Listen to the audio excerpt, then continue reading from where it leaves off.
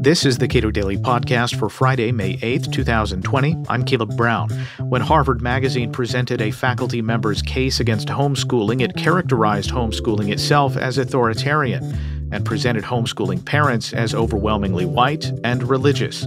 Kerry McDonald, author of the book Unschooled, says the case falls apart under scrutiny the Harvard Magazine article was an interview with Elizabeth Bartholet, who's a longtime Harvard Law School professor. And it really accentuated many of her points in her much broader Arizona Law Review article that was also published recently.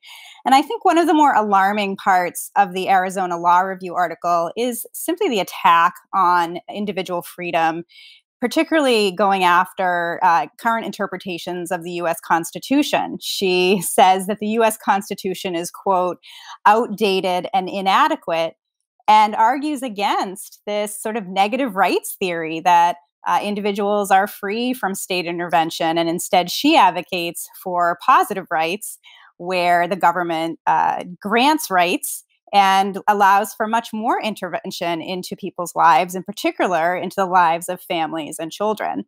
So uh, there's a long standing uh, precedent with regard to parents and parents' uh, ability to educate their own children according to their own uh, dictates of either their faith or their beliefs or simply what they want their children to learn. Um, and uh, does she engage with that at all? Right. So, so you're you're right that the courts have upheld what is known as the liberty interest of parents to care for and educate their children how they see fit. And that's certainly what has led to, for instance, homeschooling being legally recognized in all 50 states uh, since the mid 1990s. Um, but Bartholet really uh, advocates more on a child's rights perspective, saying that the state needs to be more interventionist um, to make sure that children are being protected. And she worries about what she calls authoritarian control of children by their parents. But of course, in calling for a presumptive ban on homeschooling, uh, there's nothing quite so authoritarian uh, as saying that uh, the state knows better than families um, and that that that that requires state intervention to ensure child's well-being. And i really think this goes beyond homeschooling. I mean of course she's singling out homeschoolers which number about 2 million in the united states. Um, it's saying that they need more oversight or again an outright ban on the practice to protect children. But it misses so much in that argument. I mean for one thing uh, many families decide to choose homeschooling because they're dissatisfied with the environment of other schools. In fact, that's the number one motivator uh, for homeschooling parents today, according to the US Department of Education.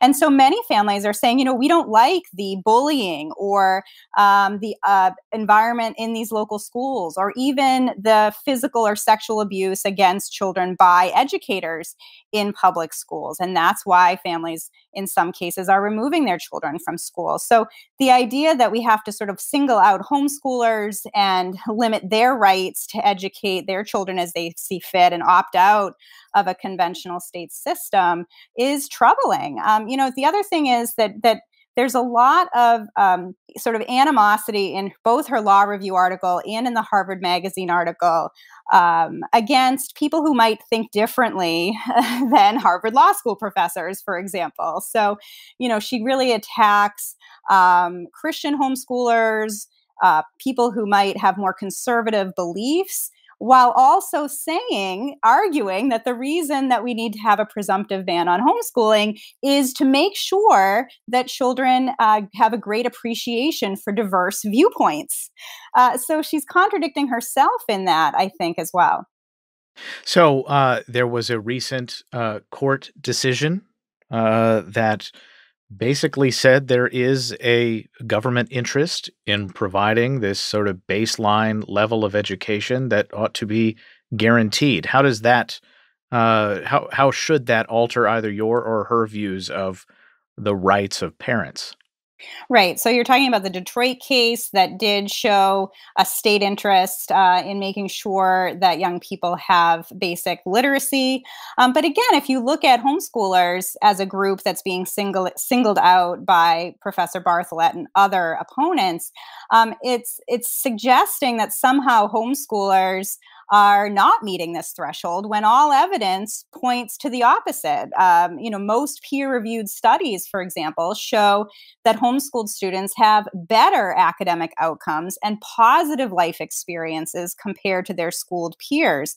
And in fact, in my letter to the editor of Harvard Magazine, where I respond to the magazine's article, I point to an article from 2018 in the Harvard Gazette that spotlighted three then current Harvard students who were homeschooled for their childhood and their adolescence and really attributed their success as well as their curiosity, love of learning, and independence to that homeschooled experience. So there's just, again, no evidence to suggest that homeschoolers are uh, somehow not uh, making sure that their children are academically successful. There's also research that shows that homeschoolers are quite integrated into their communities.